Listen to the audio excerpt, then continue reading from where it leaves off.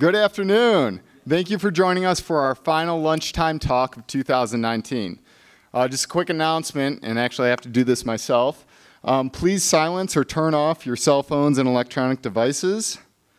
Um, we want to take a minute here to thank our sponsors, the Nancy Carroll Draper Charitable Foundation, as well as Sage Creek Ranch, um, who make all of our lunchtime and after dark presentations possible. We're thrilled to host a growing pool of engaging and dynamic speaker, speakers, many of which have carved out livelihoods through work and research here in the greater Yellowstone ecosystem. Our capacity to continue attracting these high quality speakers has only been made possible through the generous support of our sponsors, for which we are increasingly grateful. Um, these lectures are being recorded um, and are uploaded to YouTube, so if you've missed any of our previous lectures for this year um, or for last year, you can go to youtube.com, search Draper Natural History Museum, and you'll find those presentations there. Um, if you'd like to be added to our listserv, please flag me down um, either before talk or anytime after talk. Also, if you've previously written your name on a list but you have not received emails, it's probably because I couldn't read your handwriting. So flag me down again. Let's get that email down here and you will receive those notifications.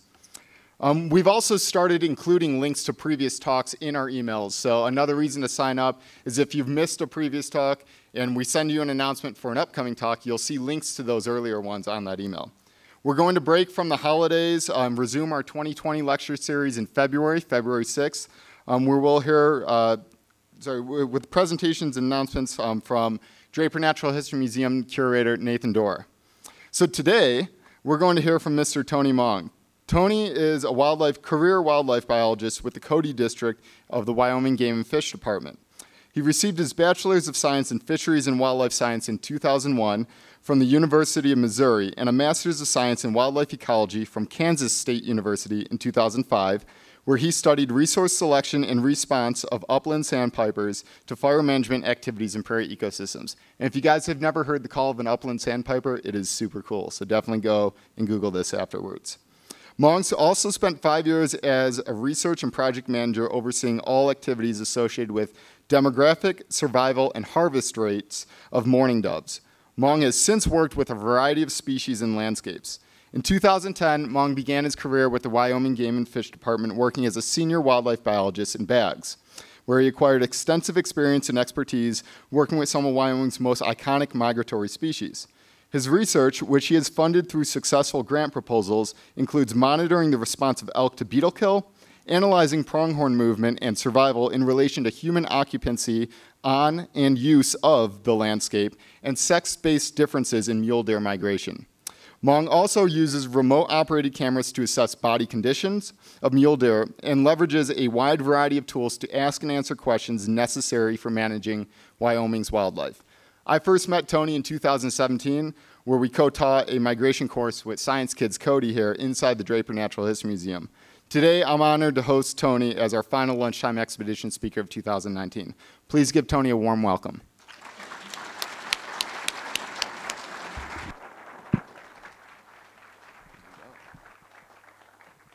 Well, thank you very much. I love coming to a talk where they clap first uh, because that means that I don't need to do anything else. I've done my job. You've clapped once, so that's great.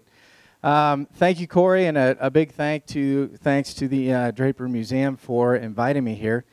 Um, first, I've, I've, I've, got to start just by, by saying that, you know, I am a biologist. I don't think outside of the biologist realm. So when I was asked to give this talk, um, I was kind of thinking along the lines of uh, a, a, talk entitled Lines on the Paper.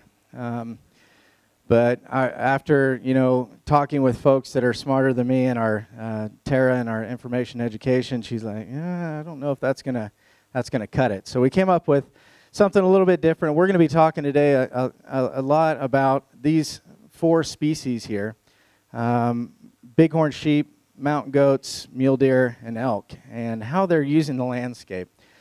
But before I even do that, I've got to stop and thank a lot of people because I've only been in Cody for about three years now. And so a lot of the data that I'm going to uh, be showing with you and sharing with you comes from other people.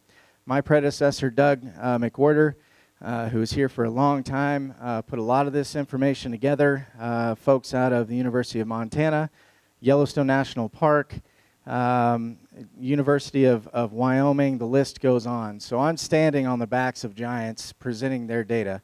Um, so I want to uh, definitely acknowledge them uh, before we get much, uh, much farther along. So when I was first asked about uh, bringing a presentation, uh, my thought uh, immediately, I, I, and it was last December, I believe, that I was asked to, to give this talk. I started thinking about what is unique about Cody and Cody Wildlife. And one of the most unique things that I've found here is that wildlife are very abundant and very easily seen during the winter, right? We have lots of, of animals in the fields, we have lots of animals on the roads, uh, sometimes to their detriment um, and to our car's detriment. Um, but what's unique is that they come here and then they leave. And a lot of times we have no idea where they're going, um, uh, what they do when, when they're gone. And so that, that was kind of the premise is that, that we really have um, this unique situation where we've got wildlife living in our uh, backyards for a small portion of the year. Now, this is great and it, it makes us feel good, but what it can do is, is kind of give desensitize us to the importance and the uh, amazing effort that these animals make uh, every year to come and live in your backyards. And so, what I wanted to do today was just give you kind of a, uh, a 100,000 foot overview of what uh, it looks like once they leave here and start to talk a little bit about uh, making sure that we give these wildlife the respect that they deserve uh, because of what uh, they go through. I've started to make the, the case that um, Cody Wildlife is some of the toughest wildlife, I believe, uh, in the West for the conditions, uh, the challenges that they face um, year to year. So that's what we're going to be kind of, of looking at today. Now, as a biologist, data really drives everything that we do. I get a lot of questions about, well, aren't you just a game warden? And I, I try to explain this to, to people is that, well, game wardens write you tickets and I write reports. And so when you're writing a report, you need lots of data. Uh, you need things to back up what you're going to be saying. And so, as a biologist for Game and Fish and other biologists uh, and other agencies, we're constantly collecting data. Uh, whether it's uh, swabbing for diseases, uh, checking uh, animals in for harvest, looking at different sizes of animals, doing radiotelemetry type research, um, looking at weights of, of, fawns, you name it, flying in helicopters, uh, counting uh, elk. We collect all kinds of, of information and data. And that's the good part, right? We collect the data. But once you collect data, you've got to do something with it. And so that's where our computers come in. Um, this, this would be a representation of me sitting down to start to analyze data. And then this is kind of me at about midway to the end of uh, analyzing data. And so uh, it's a, it's a double edged sword when you collect information, you've got to do something with it. One of the probably the coolest pieces of information that, that or pieces of data that we get to collect involves capturing animals. And uh, that is uh, putting collars on animals and getting animals in, in hand. And uh, that's where you get these pretty pictures, um, and that's where you get uh, to, to actually interact in a personal way with, uh, with the animals that you're, you're researching. I will have to say, I don't know if you've seen the picture that, that we put out uh, for advertisement. I was kind of taken aback yesterday when somebody came up to me and they said, Man, I saw that picture. I thought you were shooting it with a, with a pistol. I was like, why would, why would we be shooting elk with a pistol? Um, she didn't have a, a, a, reply to that, but I was a little taken aback. So if you saw that picture, I'm not shooting the elk with a pistol. If you thought so, we were releasing the elk uh, in that actual picture. Um, so this allows us to get close to the animals, and a lot of times we, we just think about the kind of the, the end result, which is um, putting these collars on and getting that information. But when we have animals in hand, there's a lot of uh, other information that we're taking. Um, and you know, the biggest thing uh, that we see nowadays is, is the movement information uh, that's out there. But in addition to that, we also get an opportunity to look at pregnancy rates. Uh, we also get to look at body fat, uh, body condition in a very uh, real way with um, uh, using ultrasounds. And so once we have the animals in hand, uh, we can collect a lot of great information. And um, in addition to that, uh, the, the movement information that we're collecting, once we put collars on animals, we can start to understand not only how they're using the landscape, but how they're surviving out uh, in the wild. And uh, with that information, then we can start to build a better picture of the, the uh, populations that we're managing. And that's really what it comes down to. As a biologist, as a manager, I want the best information possible to be able to manage these species in a way that allows them to continue on into the future. So, that's great. I love these pictures where the animals are already in hand, but in order to get here, we have to actually catch the animals. Uh, and that can get a little difficult. And so, over the years, wildlife biologists and, and others have come up with many different methods for catching these animals. Uh, down in Baggs, I used a lot of uh, drop nets to catch mule deer. Uh, these methods that I'll talk about first are methods where you actually draw the animal into, uh, into an area using some type of bait. And so, uh, usually a bait and a net are used you bring the animals in and capture them that way. Corral trap, traps are commonly used for elk. Um, and even with our mountain goat study that, that I'll talk about, uh, there was some use of some traps using uh, salt to try to draw them into these uh, traps where the, um, where the doors actually drop once they go in, and then you're able to, to work the animal up. So that's one method. And another method uh, demonstrated here by um, Doug McWhirter. Um, if you've ever been up the North Fork, these, these uh, bighorn sheep let you get kind of close, and that allows us to dart them uh, right from the truck. So if uh, you see us up there um, working sheep, it's usually after we've darted them. Um, so they're pretty used to that. Um, they're used to vehicles. We can drive up, get close enough, administer a dart that uh, puts the animal to sleep, and then we can work the animal up safely. But I'd say the number one way that we catch animals um, in, in Wyoming is using helicopters.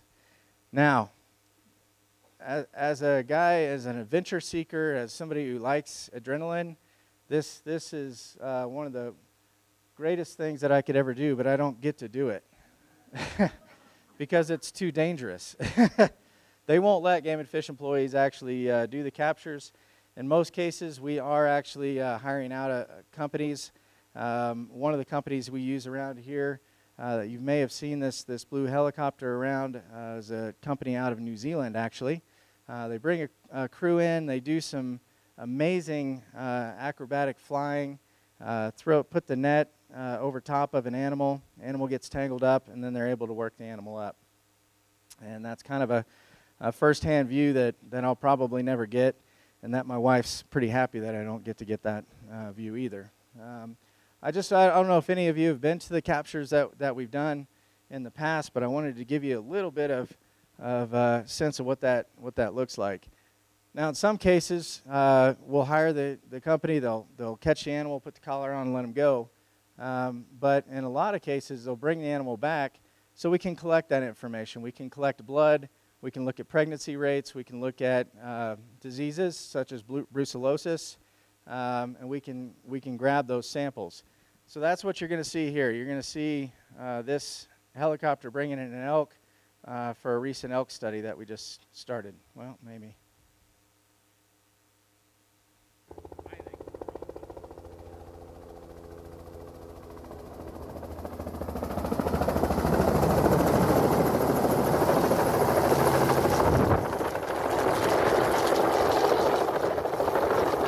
So notice the skill of the pilot being able to drop that elk very gently onto the ground. Um, and that allows us to come and start working that animal up in a very safe way. And that's what you see here. Once we have the animal in hand, then we can collect all the information we need to, uh, as well as um, uh, provide uh, and attach the collar and, and, allow that animal to, to be released. Now, once we attach a collar, we have this collar on there, and there's uh, I wanted to make sure that everybody understands that where this data comes from. And there's uh, really three components to these radio collars. Now, there's an old school collar, uh, which just has a radio transmitter. and emits a signal. Uh, back in the day, we had to go out on, on the ground. We had to go and find these animals. Once we found them, we'd take our map out, we'd mark a location, and then we'd go on. Um, and that system involves this collar, which is kind of like a, a, radio station. And we have the equipment, the antenna, and the uh, receiver that allows us to pick up that radio station. Each animal has its own individual radio station, so we can keep track of uh, individual animals. Now that's that's the old style um, that that we used to use, but now we've come in with some new technology, and we use a lot of GPS and satellite technology today. Um, and the way that works is that you've got satellite receivers up in the air. And we have hundreds of these now, um, and they're flying around. Uh, the collar initiates a location, talks to the different satellites. The satellites all coordinate, triangulate onto this animal, and put a point onto the ground or a point on the ground where that animal is. Then, depending on the collar type, um, the, the data is either then distributed out into a server uh, that allows us to look at that data in real time, uh, or it's dropped back onto the collar and we have to go out and pick up the collar and get the data off of it. Uh, we're going more and more to the system that keeps me in the office more, which is not great because now, you know, our upper, you know, uh, administration's all excited about us just being able to pull data off the internet, uh, but it again keeps me at the computer a little bit more than I'd like. Um, but some amazing technology. Battery battery technology has also increased. That's a limiting factor on the number of locations that we can get per animal. Um, but today, because of, of battery technology, we can get upwards of 24 locations a day for a year or more, so one every hour. Uh, we did a study in Baggs where I was able to change that, and during a certain time of the year, I was getting locations every 30 to 45 minutes uh, for that time period. So it's a pretty amazing technology uh, that we have. With that said, though, what happens then is that we have a ton of data. Just for this, this is Cody covered in uh, all the most recent data from 2010 until current uh, for all the species that we've talked about. Uh, it was about 1.7 million points I ended up with when I started putting this presentation together. Um, and because of that, I think my computer has aged about 20 years because of all the data I was, I was kind of crunching through it.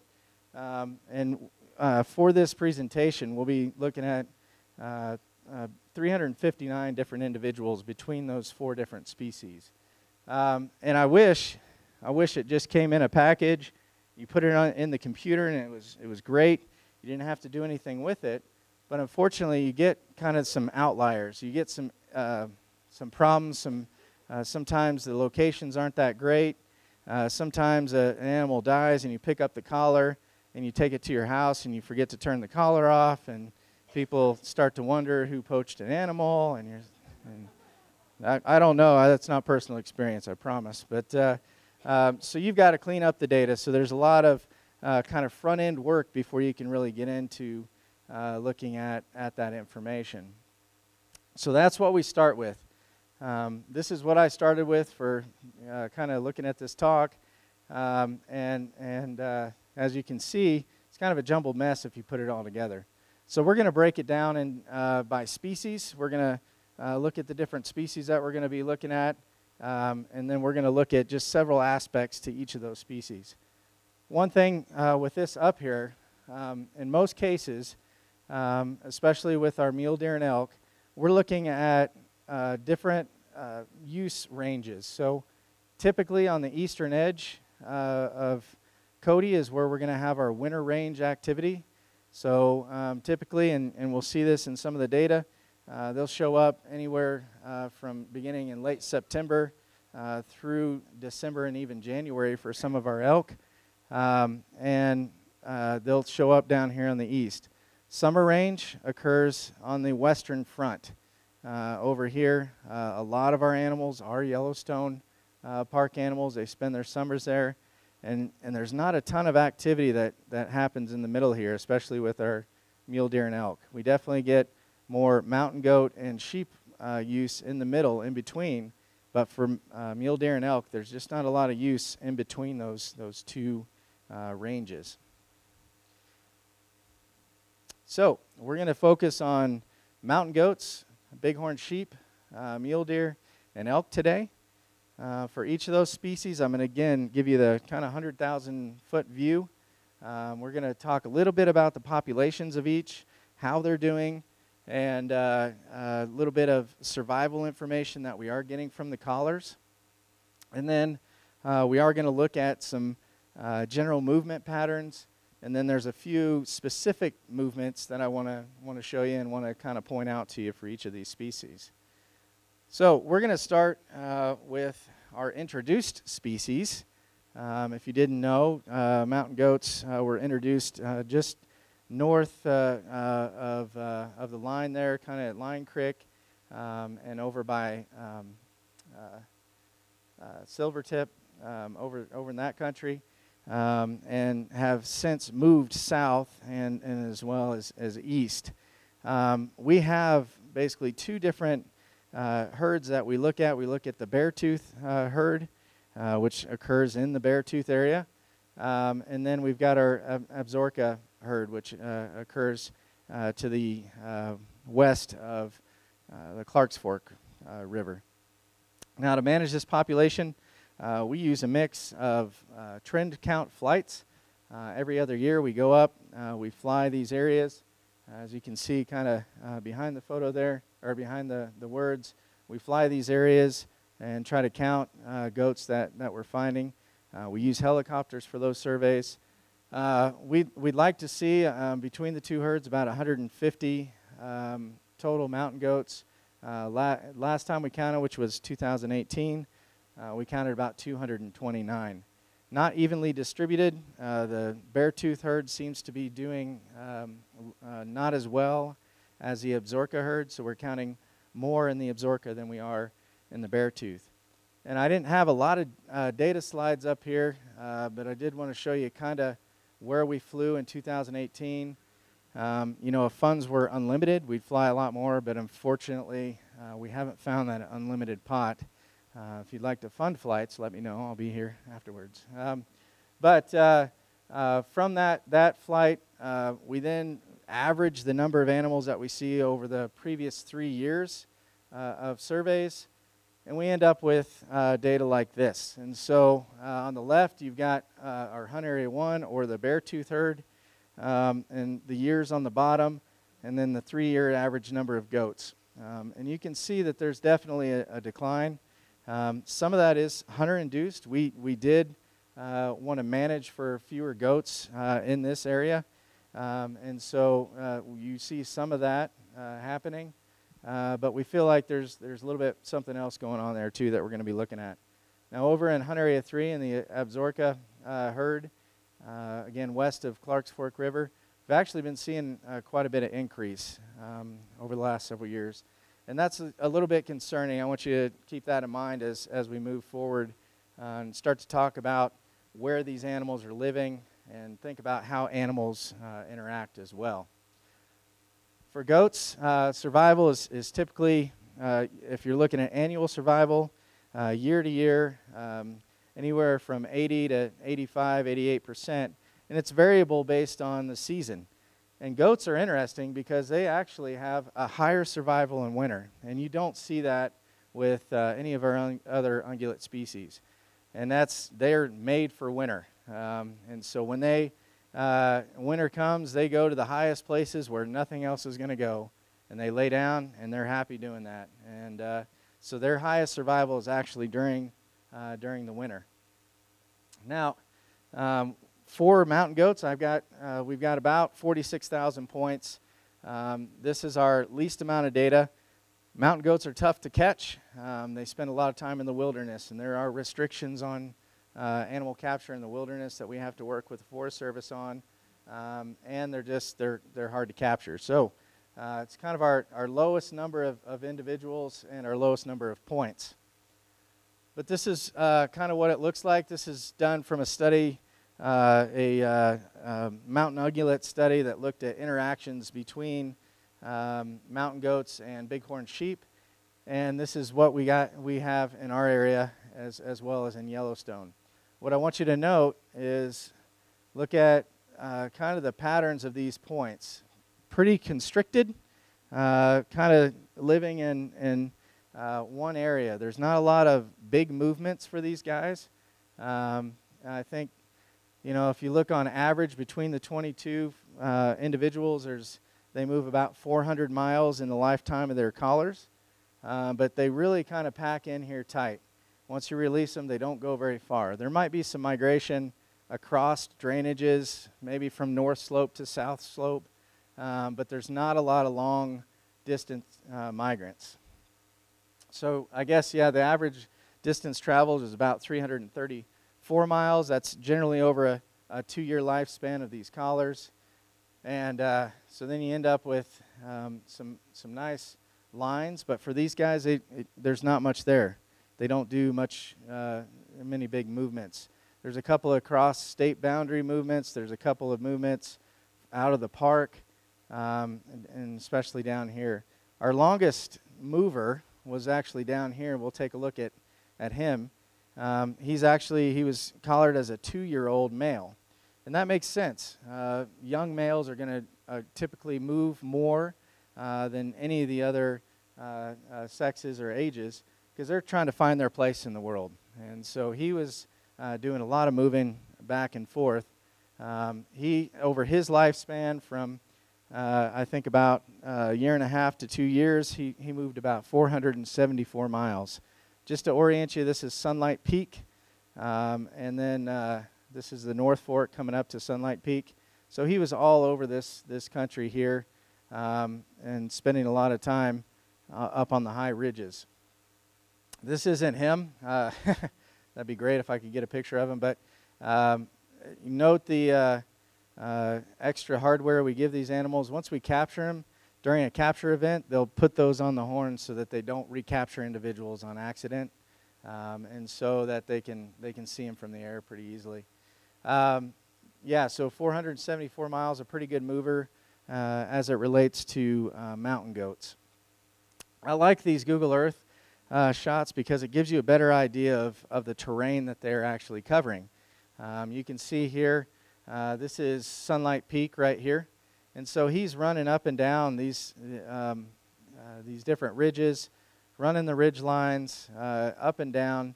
Um, you know, I, I, I, will never be able to follow this guy's track.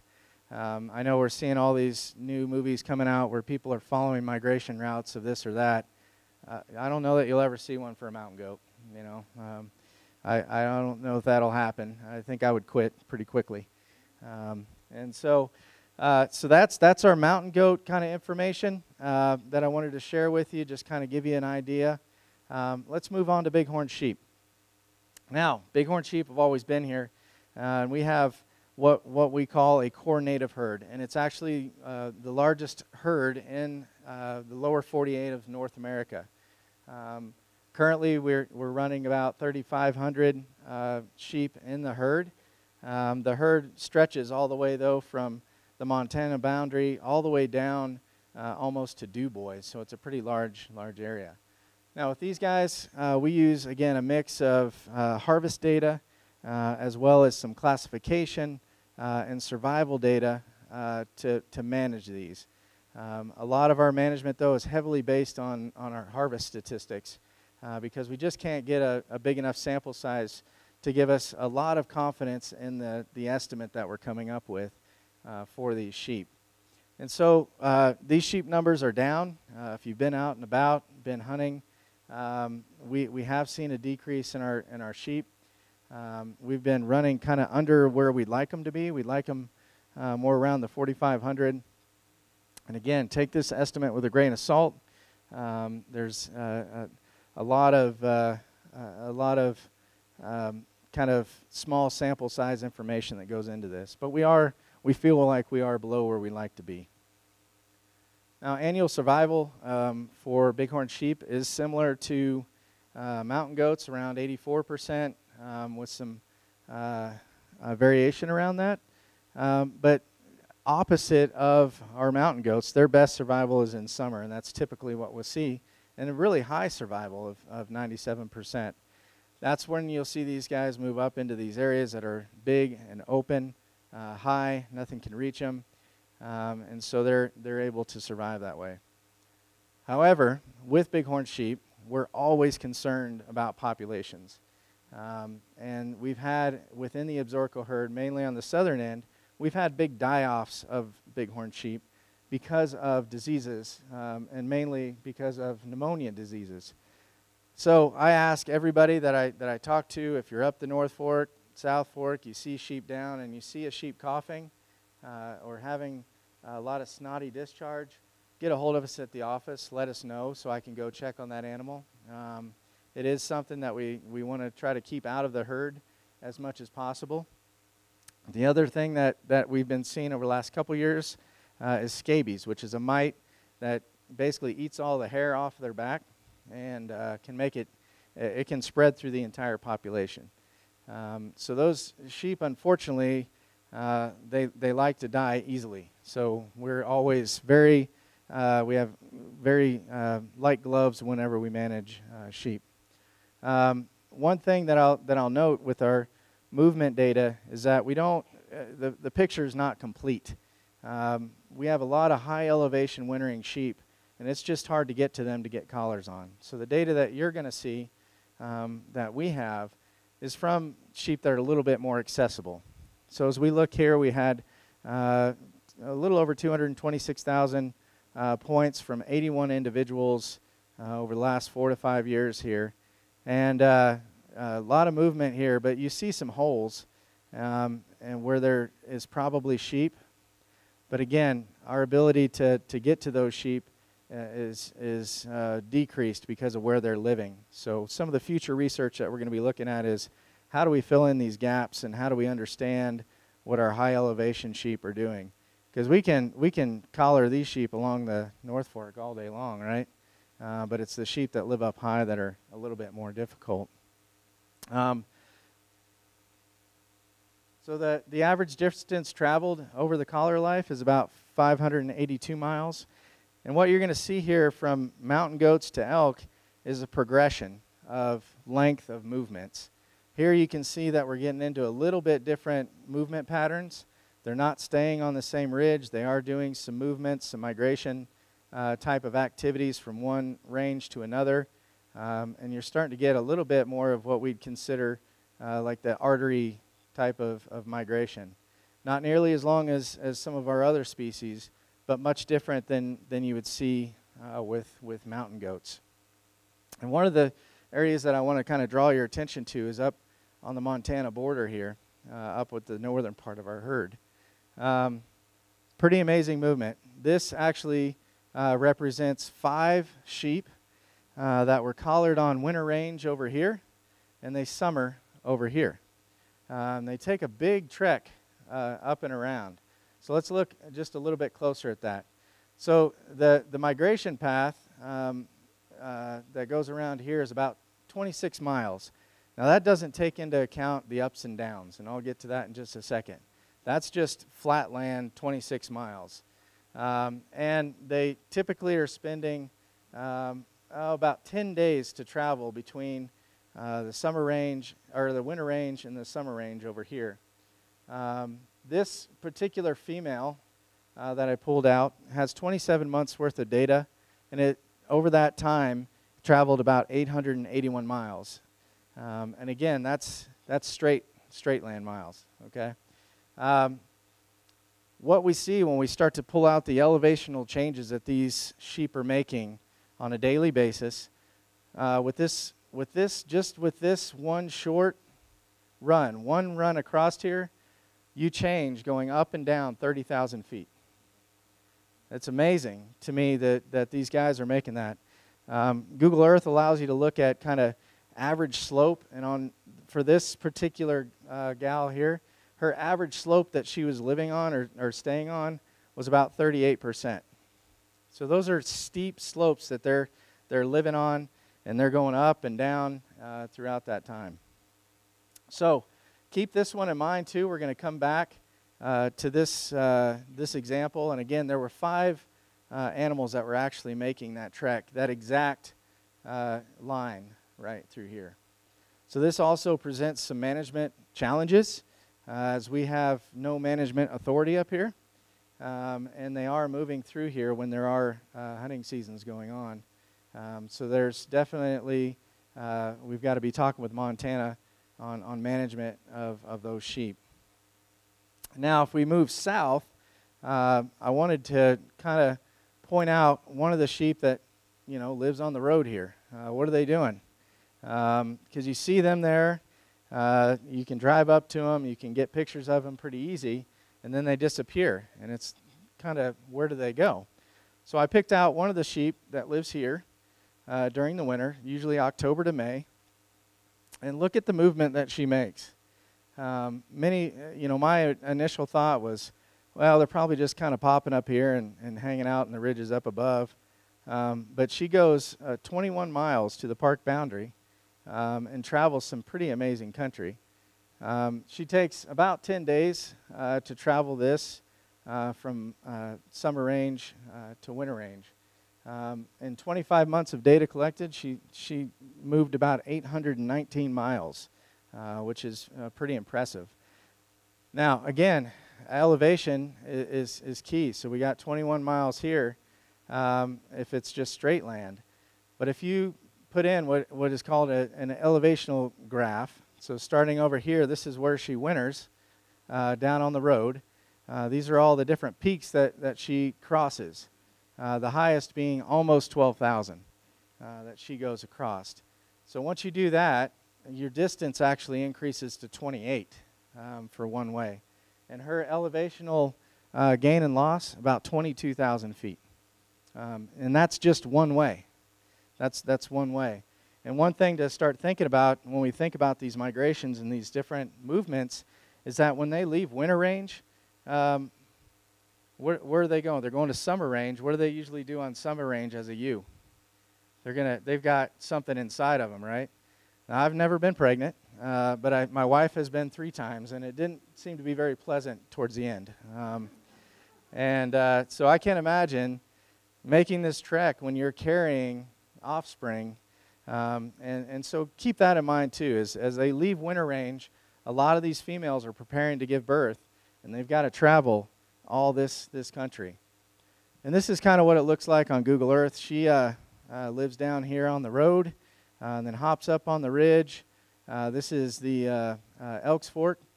she comes and she crosses the Elks Fork, goes up, up and over, um, and back down, and just keeps crossing these giant drainages um, and and then comes up a ridge and ends up summering again up by the park there.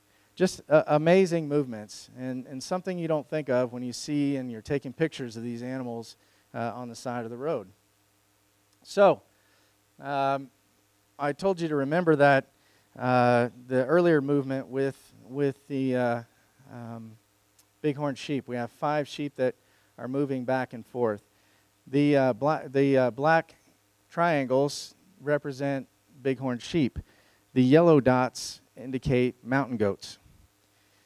So, what we see here is we start to see some, some big overlaps in both summer and winter range uh, for our um, bighorn sheep with mountain goats.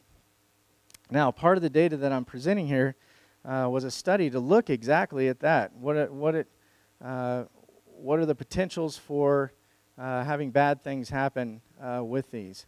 And so uh, a, a uh, recent publication out of Ecological Applications uh, by um, Blake Lowrey and a group out of University of Montana talked about that niche or what they use, similarities among introduced and native mountain ungulate populations.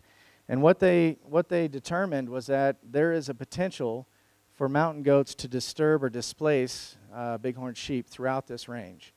Um, and so it's a, it's a de- delicate management situation because I know that people like mountain goats.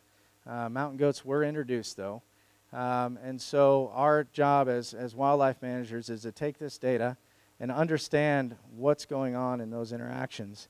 And so we, with this collar data, we're able to get this uh, type of information. Now, let's move quickly through uh, some mule deer and some elk here. Um, mule deer, we'll be talking about two different herds the Clark's Fork uh, population and the Upper Shoshone, which is everything uh, North Fork and South Fork, basically. Um, we use classification information where we're going out counting does and fawns and bucks. Um, we use harvest information, we use our survival information to estimate population size. And then we compare that population size to where uh, we believe that populations uh, can, uh, can be held at. And uh, currently within the Clarks Fork and the Upper Shoshone, uh, we're, we're down on mule deer. And so we'd like to see four to 6,000 in Clarks Fork. We're uh, probably more around 3,000. in the Upper Shoshone, we'd like to see, you know, 9 to 14,000. Um, and we're currently at probably about 8,000 to uh, 8,500, 8,600, somewhere around there. Um, there's a variety of things that are going on there if, if you want to talk mule deer, let's talk afterwards and we'll talk for hours more because uh, uh, that's a whole different subject uh, for sure. Um, but this is kind of what it looks like over the, the last several years. Numbers have been kind of low. Um, starting about uh, 2013 14, we started to see a series of, of pretty bad winters here, uh, as many of you have lived through them. And so we've started to see that, that population decline a little. Uh, annual survival based on our uh, collar data is about 80 to 85 percent, um, which is rather low for mule deer. Um, if you look in other parts of the state, uh, we typically use a survival rate of about 90 to uh, 93 percent on adult uh, females, uh, but that's just not the case here. And our, obviously have better survival in the summer. Um, we see a, a lot of our, the population being driven by the fact that we have low fawn productivity. And again, that's not the uh, topic today. Uh, so if you want to talk more about that, we sure can. All right, we've got 75 individuals that we have collared uh, from 2016 to 2018, um, and about 200,000 points at this uh, at this juncture. Um, what you can see again is that you start to stretch these out a little bit more. They start to look more like these arteries, these um, uh, different types of, of migration paths, right? Um, and we see it here. What's one of the interesting things that I've, I've found over uh, while putting this talk together is that the average distance traveled over the collar life for the Clarks Fork and the Upper Shoshone are quite a bit different. Um, and I'm interested to, to explore that a little bit more. But over the lifespan of uh, the Clarks Fork, about 704 miles versus 582 miles uh, for the uh, uh, Upper Shoshone. I think a lot of that might have to do with uh, summer range quality. Once they get to summer range, they may not have to move as much down here. Maybe the food quality is better.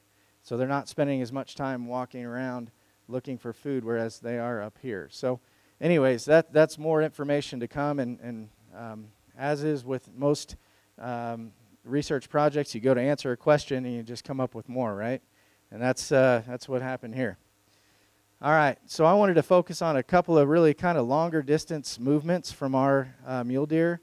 Um, Clark's Fork, this deer starts off on Winter Range just north of uh, Heart Mountain, goes all the way up the Clark's Fork Canyon, or, or kind of cuts across, gets into the canyon here, and actually ends up uh, summering up by, uh, up by Silvertip up there. So, and then down here, this is a deer that, that lives in uh, one of our employees' uh, yards, I believe.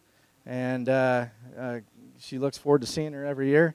And I thought I'd, I'd share that one with you. So we're going to look at those two. This is the, uh, the Clarks Fork one, or Silver Gate. I was saying tip, sorry. Silver Gate in Cooke City. Um, and this is where that, that deer summers, is up in this country here. But she makes that long trek all along the, the base here. But look down here when she starts to, she goes straight up, up and over, and up and over. Uh, you can see it way out here. Uh, pretty amazing, about 51 miles straight line. Um, and this is what her elevational gradient looks like. Um, I think we're looking uh, winter range over here and summer range over here. Um, but that adds another, you know, six miles to her trek, and her elevation gain and loss is about 20,000 feet.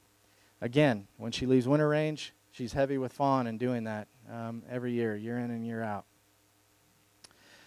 and it's tough on them. I, I have numerous, um, many um, trail camera pictures showing that these animals are coming to the top of the ridge with their mouths open, breathing hard. It's not like it's an easy thing for them to do. And they're doing this consistently uh, every year. Um, you see a fawn here in the background.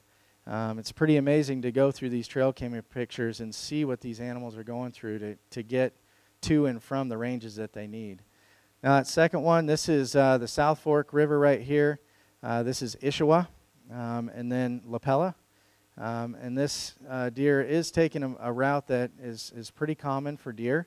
Uh, we've seen this quite a bit. She comes up here, uh, drops into Pass Creek, and then drops into the thorofare. Um, I'm going to come back to the thorofare in a minute, but uh, they knew what they were doing when they, they named it. Um, there's a ton of animals that use it. And she ends up way down by Jackson Lake. Uh, but look at the country she's covering. Uh, if you look at the elevational plot there, again, uh, about 60 miles she's actually covering, uh, getting up to uh, heights of almost a little over 10,000 feet um, in elevation. I haven't even mentioned the rivers that these animals are crossing as well. During the time of year when the rivers are, you don't want to be crossing those rivers. we're going to see an example of a, an elk here in a second that she got to the river and said, "No, nah, I don't think so." Um, so, um, just another uh, another image showing you the difficulties, and, and this comes from uh, the North Fork, the difficulties of actually living as an animal migrating throughout uh, the Absaroka Range. All right, let's move on to, to elk finally. Um, elk, we've got two different herds as well, kind of like the deer, Clark's Fork and Cody. Um, and with these, these elk, we actually do population trend counts. So that means we go out, uh, we count animals, we average that count with the previous three years uh, to give us a, a total number. Um, within the Clark's Fork, um, there's a lot of variability, uh, but currently we're a little bit below where we'd like to be. Um, with the upper Shoshone, or I'm sorry, I should say uh, Cody, uh, we're currently uh, a little bit above where we'd like to be. There's a lot of variability, a lot of things uh, that play into this, and uh, it has to do with some of the movement data that, that we've got. Annual survival is, is pretty good. With the study that we just started, about 85% um, survival. But what's amazing is that uh, Arthur Middleton found in, in uh, 2010 through 15 with his study is that if they could reach adult cow status, that their survival increased to almost 100%. Um, so as they uh, mature, they learn how to uh, deal with the challenges out on the landscape. So this is by far the biggest data set that we have, a little over a million points at this, uh, at this juncture. And this doesn't even take into account the studies that happened uh, where they were going out and tracking animals by hand. Uh, this is all just uh, GPS data. And so we've got 180 individuals at this point and uh, that's the, the blobs is, what it looks like. Um, with elk, what you see is a lot more uh, variability in their movement and also uh, being tied to a winter range or even being tied to migrate. Uh, we just uh, published a paper recently showing that uh, elk are less likely to migrate if the food's good. So they'll, they'll change. They will change. And you can see some of that in some of these movement patterns that, that we're seeing out here and I'll show you one specifically here in just a minute. Um, again, expanding though, you see these, these longer routes, we see a lot more movement. We, we tend to see that elk are always on the move, and you can see that from the number, the uh, average number of miles that are traveled uh, based on collar. So we almost doubled what we saw uh, with our deer. And so within that time period, they're traveling a long way. Um, they're looking for bigger food sources. They've got a bigger body. They've got to uh, uh, get up on these plateaus and move quite a bit. And so, what I really wanted to focus on were, with elk is just these kind of these uh, uh, areas that are concentrated with elk movement. Um, and this has really helped to drive our uh, drive another piece of management information, which is trail cameras. So you see here, this is uh, Cabin Creek. This is um, Eagle Creek coming up here. This is Eagle Pass right here. Um, and we see just a, a, very tight movement of elk up, up in this area. Um, here's another one at Thorofare. Here's Pass Creek, um, and here's Thorofare, and you can see that these animals are just jamming into this little spot right here. Um, here's another one coming off of Needle Creek and up over in Fall Creek here. Um, I don't know how many of you are horse people or how many of you ever been up Fall Creek. Yeah, it's not a really a trail. it, it's uh, it's a horrible trail. I went up it once, and I, I don't know if I'll go back. But um, uh, so they're traveling up that. Um, they're making some some pretty serious elevation change in a in a short period. Now, what I wanted to show you is the overlap with mule deer and, and elk. So in purple, we've got uh, mule deer, and in, in the uh, beige color, we've got the elk. And here's thorofare, and here's uh, open creek right here. And so what you can see is that these animals are piling into that uh, small of an area uh, as they're migrating. So it's, it's, it's definitely not species specific. Um, what that allows us to do, though, when we see these pinch points, is utilize it for better data collection. And so we've done that. Um, currently, I've got close to 40 trail cameras set up across uh, the mountains at all these different locations that allows me to get a better idea of number of animals uh, coming through those areas each year and what the makeup of them is. Uh, these are cool areas because we both we get both mule deer and elk, um, and the same in, in a couple of these other uh, spots where we're getting both species uh, moving through, and actually uh, sheep um, as well. Don't get too many goats in, in any of these these spots though. So I wanted to show you. Uh, this is an elk that we collared just this last year in uh, February. Um, she stayed kind of down. This is the Meeteetse Rim country. Here's Carter Mountain. Uh, Rim's right back here. Uh, she lived there for the winter and then took off. Uh, spent some time in Yellowstone. Uh, I think she came into some money because she moved down by Jackson. I, it's the only thing I can figure. Um, I'm not really sure why she's down there. Uh, you know, she wintered here um, you never see this with mule deer. They never switch winter ranges. She was over here, got to talking to some other cows, and decided to go south. Um, and so now she's living down there. That these locations right here are as of about a week ago. So she's still down there. Um, so it's pretty amazing uh, that the the elk uh, can do that, and we've seen it in other studies. I've seen it down in Baggs. Uh, it's pretty amazing. And this is kind of the elevational gradient uh, that she travels uh, 66 miles, 26,000 feet of elevation change. Uh, she goes through um, her migration, carrying a large calf uh, in her in her stomach there. So, um, one thing, let me back up. I forgot to point this out. Look at this little blib right here. This is the Yellowstone River. There's a little blib here. Why did she stop there? Uh, those are the things that kind of come to my mind. And we go in and we plot these points. Here's the river. Yellowstone River. All these points are right at the beginning of June. Does anybody know what happens to elk at the beginning of June?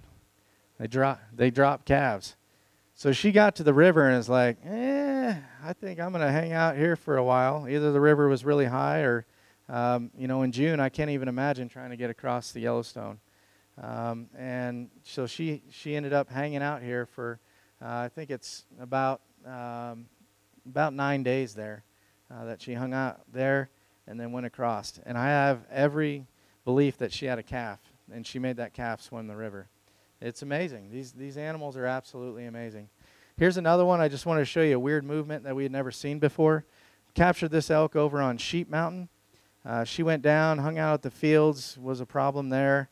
Uh, decided to come up, and she actually went across drainage and across uh, Carter Mountain uh, came down, spent the rest of her winter uh, down on Meeteetse Rim, almost out to 120 out here, and then took off and, and made the migration through Boulder Basin, up Fall, down Thorofare, and lived over uh, uh kind of um, up behind our cabin there. I can't remember the name of that mountain there. Uh, somebody else will. But, but anyway, she's living up in the park there. Um, and so just an amazing movement there. One thing I wanted to point out, though, is with our elk, we have seen a switch from uh, migratory to kind of more local movements. This is an elk that we collared on Meeteetse Rim, and she basically lived along the uh, kind of southeast uh, side of Carter Mountain This is her entire movement. And we're seeing that. And, and it's something that uh, really throws a wrench into management is when you have animals that are migrating and animals that are not. And what we also see with animals that are migrating, lower calf ratios. With animals that are not migrating, higher calf ratios. Now, how many of you have heard of brucellosis? Brucellosis is a big deal. And so with brucellosis, guess who's probably going to be getting in trouble? And guess who's growing calves and growing at a higher rate than the elk that are migrating? So these kind of things help us to determine what portion of the population that we see in the winter uh, are, are not migrating, that are kind of living there, and uh, helps us to also kind of form and fashion hunting seasons. So let me ask again, are they living the easy life? No. The thing that I, that I want to instill today as I, as I leave is that even though it seems like these animals are, are doing well on winter range, and uh, there's plenty of them out there, you see them all the time, we've really got to do our part in their little part of their life cycle when they come down here. We've got to do our part uh, to make sure that we're not creating more difficulties, that, uh, um, that, we're not, that we're sharing that space in a way that allows them uh, to not to have such a hard time uh, while they're down here. And I, I, I, just reference these things because they are a reality.